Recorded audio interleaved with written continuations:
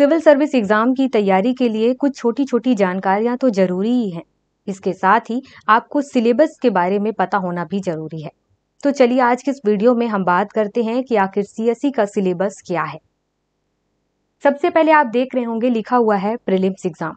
तो इससे पहले आप सभी ध्यान दीजिएगा कि यूपीएससी सीएससी के जो एग्ज़ाम पैटर्न है, उसमें सबसे पहले प्रिलिम्स होता है, उसके बाद मेंस होता है और उसके बाद इंटरव्यू होता है। इसी क्रम से हम प्रिलिम्स और मेंस के सिलेबस के बारे में बात करेंगे। सबसे पहले बात करते हैं कि प्रिलिम्स में दो पेपर होते हैं, जीएस और उसके बाद सी सेट हम पहले बात करने वाले हैं जीएस के सिलेबस के बारे में, उसके बाद बात करने वाले हैं सी सेट के सिलेबस के बारे में। जैसा कि आप सभी लोग देख रहे हैं, ये सारी चीज़ें जो यहाँ पर दिखाई दे रहा है, ये सभी यूपीएससी, सीएससी के द्वारा सिलेबस में दिया गया है। उसी के बारे में हम बात करने वाले हैं।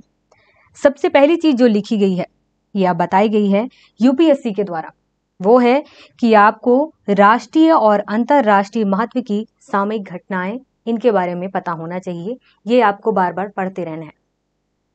सही लैंग्वेज में अगर आपको समझाना चाहूँ तो यह है कि आपको इंटरनेशनल और नेशनल दोनों ही लेवल के अंतरराष्ट्रीय घटनाओं के बारे में आपको जानकारी होना चाहिए।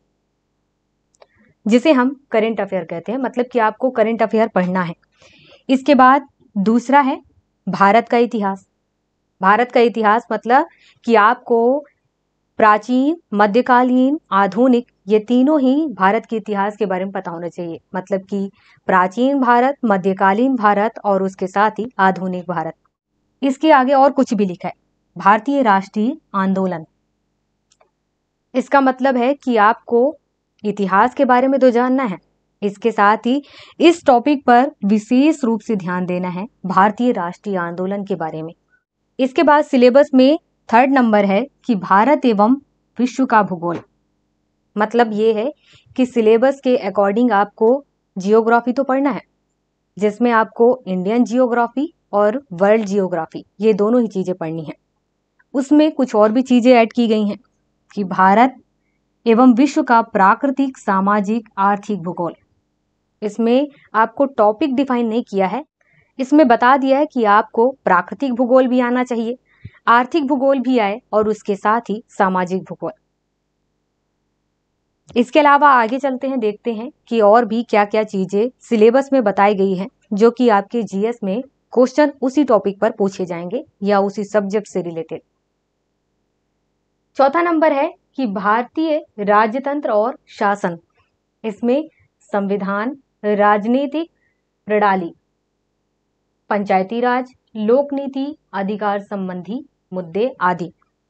इसका मतलब है कि जब आप पॉलिटी की तैयारी करेंगे तो आपको यहाँ पर इन टॉपिक पर तैयारी करनी ही है, इसके साथ ही आदि जैसा शब्द भी लगा दिया गया है। इसका मतलब है कि आपको राजनीति से रिलेटेड आपको और भी चीज़ों की जानकारी होनी चाहिए।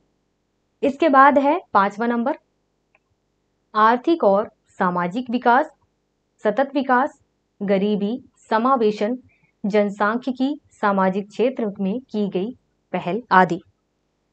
इसमें पाँचवें नंबर में ये कहा गया है कि आपको इकोनॉमिक में ये टॉपिक तो तैयार होना ही चाहिए। इसके अलावा और भी टॉपिक्स हैं, जिनकी तैयारी आपको करनी है। अब ये टॉपिक क्या हो सकते हैं या क्या होते हैं, ये आपको तभी पता चलेगा जब आप प्रीवियस ईयर के क्वेश्चन पेपर को उठाएँगे। प्रीवियस ईयर के क्वेश्चन पेपर में अलग अलग टॉपिक्स पर हर साल क्वेश्चन पूछे जाते हैं इकोनॉमिक सब्जेक्ट से। तो वहाँ से आप टॉपिक को समझ सकते हैं। इसके बाद बात करते हैं नेक्स्ट टॉपिक क्या है? सिक्स नंबर आप देख सकते हैं पर्यावरणीय पारिस्थित की मतलब कि आपको पर्यावरण तो पढ़ना है, उसके बाद पर्यावरण पारिस्थित की जैव विविधता और उसके बाद है मौसम परिवर्तन संबंधी सामान्य मुद्दे। आप सभी लोग देखते हैं कि हमारे आसपास मौसम में कई बार अलग अलग परिवर्तन होता है। वो परिवर्तन क्यों है? कैसे है? इसका क्या कारण है? ये सभी सवालों के जवाब आपको पता होना चाहिए। ज़्यादा नहीं तो इतना पता होना चाहिए कि बेसिक चीज़ें क्या हैं और क्यों परिवर्तन। आपको इसमें कोई पीएचडी हासिल नहीं करना होता है। सामान्य रूप से आपको पता होना चाहिए। इसमें लिख भी दिया गया है कि इनके लिए आपको विषयगत, विशेषज्ञता की आवश्यकता नहीं है। इसका मतलब ये नहीं है कि केवल आपको सिक्स नंबर टॉपिक में ऐसा कहा गया है। ये सभी टॉपिक के लिए बताया गया है। मतलब आप हिस्ट्री की तैयारी करें, चाहे पॉलिटी की तैयारी करें, चाहे साइंस की तैयारी करें, चाहे इकोनॉमिक की तैयारी करें। इसके लिए आपको केवल बेसिक नॉलेज होना चाहिए, समझ होना चाहिए। क्वेश्चन को आप समझ सकें, उसके बाद आप आंसर कर सकें किस बारे में पूछा गया है, ये आप समझ सकें। इसीलिए आपको कहा गया है कि आपको इसमें विशेषज्ञता नहीं, बल्कि बेसिक चीज़ें पता होनी चाहिए। और सातवां नंबर टॉपिक है सामान्य विज्ञान। सिलेबस में ये नहीं बताया गया कि किस टॉपिक पर क्वेश्चन पूछे जाएँगे। लेकिन आपको यह ज़रूर बताया गया है कि इन सब्जेक्ट से क्वेश्चन पूछे जाएँगे और आपको विशेष तौर पर किस बात पर ध्यान देना है। इसके साथ ही आप प्रीवियस ईयर के क्वेश्चन पेपर देखेंगे तो आपको चीज़ें जल्दी समझ में आएँगी। अब हम बात करते हैं प्रीलिम्स एग्ज़ाम के दूसरे पेपर सी सेट के बारे में कि उसका सिलेबस क्या है। सी सेट में आप सभी लोग देख रहे होंगे कि इसका सिलेबस क्या है। हम बात करते हैं, पहले हिंदी में बात करते हैं, उसके बाद आपको आसान लैंग्वेज में समझाते हैं। जैसा कि सबसे पहला टॉपिक है, बोधगम्यता। इसके बाद दूसरा टॉपिक है, संचार कौशल सहित अंतर व्यक्ति कौशल। इसके अलावा है, तीसरा टॉपिक तार्किक कौशल एवं विश्लेषणात्मक क्षमता। इसके बाद है, निर्णय लेना और समस्या समाधान। पांचवा है, सामान्य मानसिक योग्यता। इसके अलावा छठवा है, आधारभूत संख्यन, संख्याएँ और उनके संबंध विस्तार क्रम, जो कि दसवीं कक्षा के स्तर का होगा। आंकड़ों का निर्वचन, जिसमें चार्ट, ग्राफ, तालिका और आंकड़ों की पर्याप्तता संबंधी क्वेश्चन पूछे जाएँगे, वो भी टेंथ क्लास के स्तर का है। लेकिन कई लोगों को ये समझ में नहीं आया होगा, मुझे पता है। इसलिए आपको क्या करना है? सबसे पहले तो प्रीवियस ईयर के क्वेश्चन पेपर को उठाइए और वहाँ से समझिए। लेकिन उसमें आप ध्यान दीजिएगा कि आपको तीन चीज़ें खास तौर पर मिलेंगी, वो हैं कॉम्प्रिहेंशन मैथ और रीजनिंग और इसी चीज़ के रिलेटेड क्वेश्चन पूछे जाते हैं। तो आपको मैथ की तैयारी करनी है रीजनिंग की तैयारी करनी है और कॉम्प्रीहेंशन की तैयारी करनी है। ज़्यादा अच्छे से समझने के लिए आपको पुराने साल के पेपर उठाने होंगे, उन्हें सॉल्व करना होगा। उसके बाद ही आपको अच्छे से ये चीज़ें समझ में आएँगी। यहाँ पर मेंस एग्ज़ाम की तैयारी भी आपको पहले ही करनी होगी। उसके लिए भी आपको सिलेबस के बारे में जानना ज़रूरी है। सबसे पहले हम ध्यान देते हैं इस बात पर कि मेंस एग्ज़ाम में कौन कौन से पेपर होते हैं और उनके क्या क्या सब्जेक्ट्स हैं। तो जैसे कि आप सभी लोग देख रहे होंगे, ये सारे पेपर होते हैं मेंस एग्ज़ाम में। मेंस एग्ज़ाम में दो पेपर ऐसे होते हैं जो कंपलसरी हैं। वो हैं पेपर ए और पेपर बी देख रहे होंगे। पेपर ए 300 नंबर का होता है और पेपर बी 300 नंबर का होता है। लेकिन इसमें आपको केवल पास होना होता है और इसमें केवल 25 परसेंट मार्क्स लाने होते हैं। अब इसके बाद बात करते हैं पेपर ए का, जो कि पेपर ए में आप देख रहे होंगे लिखा हुआ है इंडियन लैंग्वेज। अब इंडियन लैंग्वेज में से कौन सी लैंग्वेज आप चुन सकते हैं, इसके बारे में बात करते हैं। तो इसमें आप इंग्लिश, असम, बंगाली, बोडो इनमें से कोई लैंग्वेज चुन सकते हैं। इसके अलावा गुजराती है, हिंदी है, कन्नड़, मलयालम, मराठी, नेपाली उड़िया पंजाबी, संस्कृत, सिंधी। इसके अलावा है तमिल, तेलुगु और उर्दू। इनमें से कोई भी एक लैंग्वेज आप चुन सकते हैं इस पेपर को देने के लिए। इसके बाद है पेपर बी इंग्लिश ये सभी के लिए है। इसमें भी आपको 300 में से केवल 25 परसेंट मार्क्स लेकर के आने हैं। ये दोनों ही पेपर कंपलसरी हैं। इस बात पर ध्यान दीजिएगा। यहाँ पर आपको बताना चाहूँगी कि पेपर ए और पेपर बी ये दोनों के नंबर फाइनल रिज़ल्ट में कैलकुलेट नहीं होंगे। पेपर वन से लेकर के पेपर सेवन तक इनके नंबर्स फाइनल रिज़ल्ट में कैलकुलेट होंगे। अब हम बात करते हैं पेपर वन के बारे में। पेपर वन में देख रहे हैं, आपसे निबंध या ऐसे पूछा जाएगा, जिसमें 250 मार्क्स हैं टोटल और तीन घंटे का समय दिया जाएगा। अब इसमें मैं टॉपिक तो आपको नहीं बता सकती हूँ, इसलिए आपको प्रीवियस ईयर के क्वेश्चन पेपर उठाना है और यह समझना है कि किस टॉपिक पर किस तरीके से क्वेश्चन पूछे जाते हैं। अब इसके बाद बात करते हैं नेक्स्ट पेपर के बारे में। नेक्स्ट पेपर है सेकंड जिसमें जीएस पूछा जाएगा और इसे जीएस फ़र्स्ट कहते हैं। तो आपको यह समझना होगा कि आखिर इसमें कौन कौन से सब्जेक्ट ऐड हैं। तो इसमें हिस्ट्री जियोग्राफी और सोसाइटी, ये तीन सब्जेक्ट ऐड हैं, जिसे हिंदी में लिखा हुआ है, भारतीय विरासत और संस्कृति, विश्व का इतिहास एवं भूगोल और समाज। इस तरीके से आपको यहाँ पर इतिहास पढ़ना है और इतिहास में कला संस्कृति भी पूछा जाता है, ये भी ध्यान रखिएगा।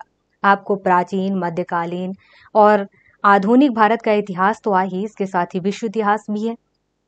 इसके अलावा कला संस्कृति भी पूछा जाता है। फिर जियोग्राफी, जो कि विश्व स्तर का भी और इंडिया लेवल का भी आपको आना चाहिए। और फिर है समाजशास्त्र या फिर सोसाइटी। इसके बारे में जीएस फ़र्स्ट में पूछा जाएगा। इसके बाद बात करते हैं पेपर थर्ड के बारे में। पेपर थर्ड में लिखा हुआ है कि समान अध्ययन टू मतलब कि इसे जीएस टू कहा जाता है।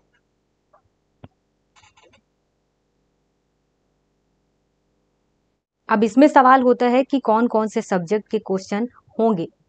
तो इसमें आपका पॉलिटी होगा इंटरनेशनल रिलेशनशिप है और इसके साथ ही सोशल जस्टिस है। मतलब कि शासन व्यवस्था, संविधान, शासन प्रणाली, सामाजिक न्याय और अंतर्राष्ट्रीय संबंध। इन सब्जेक्ट से रिलेटेड पेपर थर्ड में जीएस टू में क्वेश्चन पूछे जाएँगे। इसके अलावा, हम बात करते हैं पेपर फोर के बारे में। पेपर फोर में जीएस थर्ड से रिलेटेड क्वेश्चन पूछे जाएँगे। जीएस थर्ड में कौन कौन से सब्जेक्ट आते हैं, इसकी जानकारी होना ज़रूरी है। तो इसमें आपसे technology, economic, development, biodiversity environment security and disaster management. Hindi में देखें तो प्रौद्योगिकी, आर्थिक विकास, जैव विविधता, पर्यावरण, सुरक्षा तथा आपदा प्रबंधन। मतलब कि इसमें आपको इकोनॉमिक सब्जेक्ट पढ़ना है इन्वायरमेंट पढ़ना है साइंस पढ़ना है, इसके साथ ही आपको आपदा प्रबंधन भी पढ़ना है और इकोलॉजी पढ़ना है। इन सभी में आप एक चीज़ कॉमन देख रहे होंगे, इनके नंबर और इनमें दिया गया समय। अब इसके बाद नेक्स्ट पेपर के बारे में बात करते हैं। नेक्स्ट पेपर आप देख रहे होंगे पेपर फाइव पेपर फाइव को सामान्य अध्ययन फोर या जीएस फोर कहते हैं। इसमें आपसे नीति शास्त्र, सत्यनिष्ठा और अभिरुचि पूछी जाएगी। मतलब कि आपको एथिक्स इंटीग्रिटी एंड एप्टीट्यूड इससे रिलेटेड क्वेश्चंस इसमें आएँगे। और इसकी तैयारी आपको करना है, उससे पहले प्रीवियस ईयर के क्वेश्चन पेपर देख लें और समझें कि किस तरीके के क्वेश्चंस पूछे जाते हैं। और इसमें कई सारे क्वेश्चंस ऐसे भी होते हैं, जिनको आप अभी बिना पढ़े भी कुछ सवालों के जवाब आसानी से दे पाएँगे। इसलिए ये पेपर आसान भी है और कभी कभी लोगों को कठिन भी लगता है। इसलिए इसकी तैयारी खास कर या तो लोग पहले से ही करते हैं या बाद में करते हैं। इसलिए आप पहले चेक कर लें कि आपको ये पेपर कैसा लगता है। इसके बाद बात करते हैं ऑप्शनल सब्जेक्ट के बारे में। ऑप्शनल सब्जेक्ट में कुछ लोग लिटरेचर सब्जेक्ट चुनते हैं तो कुछ लोग कई और भी सब्जेक्ट हैं, उनको चुनते हैं। सबसे पहले बात करते हैं कि वो कौन कौन से लिटरेचर सब्जेक्ट हैं जो आप चुन सकते हैं। देख रहे होंगे? बंगाली, इंग्लिश, गुजराती, हिंदी, कन्नड़, मैथिली, मलयालम, मणिपुरी। इसके अलावा है मराठी, पंजाबी, संस्कृत, सिंधी, तमिल, तेलुगु और उर्दू। सभी लिटरेचर सब्जेक्ट में से कोई भी लिटरेचर सब्जेक्ट आप चुन सकते हैं। जैसा कि आप सभी लोग देख रहे हैं, ये सारे सब्जेक्ट में से कोई एक सब्जेक्ट आप चुन सकते हैं। बात करते हैं कि वो कौन कौन से सब्जेक्ट हैं। जैसा कि सबसे पहले देख रहे होंगे, public administration. Sociology, statics, zoology. इनमें से कोई एक सब्जेक्ट चुन सकते हैं। इसके अलावा है electrical engineering, geography, geology, history, law. इनमें से कोई सब्जेक्ट चुन सकते हैं।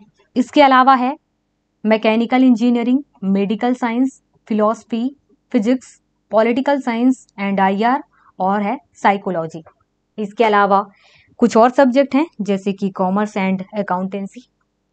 इसके बाद है इकोनॉमिक मैनेजमेंट और फिर है मैथमेटिक्स इसके अलावा कुछ और भी सब्जेक्ट हैं, जिनमें से आप कोई एक सब्जेक्ट चुन सकते हैं। कुछ सब्जेक्ट हैं जैसे कि anthropology botany chemistry civil engineering इनमें से भी आप कुछ सब्जेक्ट चुन सकते हैं। इसके अलावा एग्रीकल्चर है और एनिमल हस्बेंड्री इनमें से भी कोई एक सब्जेक्ट आप चुन सकते हैं ऑप्शनल सब्जेक्ट के रूप में। इसके साथ ही आप सभी लोगों ने ध्यान दिया होगा, जब मैं पेपर से रिलेटेड और भी जानकारी दे रही थी तो वहाँ पर लिखा हुआ था सिक्स नंबर और सेवन में कि ऑप्शनल सब्जेक्ट वन और टू यहाँ पर ये बताना चाहूँगी कि कोई एक सब्जेक्ट जब आप चुनते हैं ऑप्शनल सब्जेक्ट के रूप में तो उसी सब्जेक्ट से रिलेटेड जब क्वेश्चन पेपर बनता है तो दो क्वेश्चन पेपर तैयार होता है, जिसमें ऑप्शनल सब्जेक्ट वन और ऑप्शनल सब्जेक्ट टू बोल दिया गया है। और दोनों के ही नंबर ढाई सौ ढाई सौ है टोटल मिलाकर के पाँच सौ है।